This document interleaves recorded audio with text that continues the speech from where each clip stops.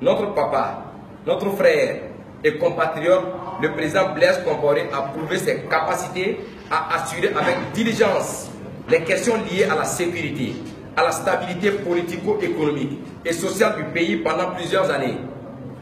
Il faut le consulter. Lui-même, il a dit, je ne suis ni un ange, ni un démon. Je vous demande le pardon, peuple burkinabé.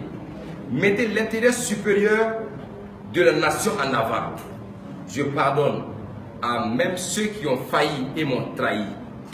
C'est pour dire que le président Blaise Compaoré est un homme de dialogue, est un homme de paix.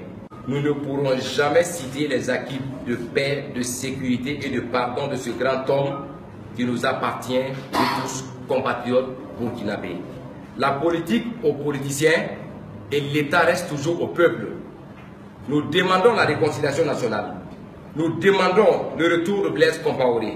Nous demandons le retour de tous nos compatriotes en exil politique. Nous demandons l'implication de tous pour le pardon national et patriotique.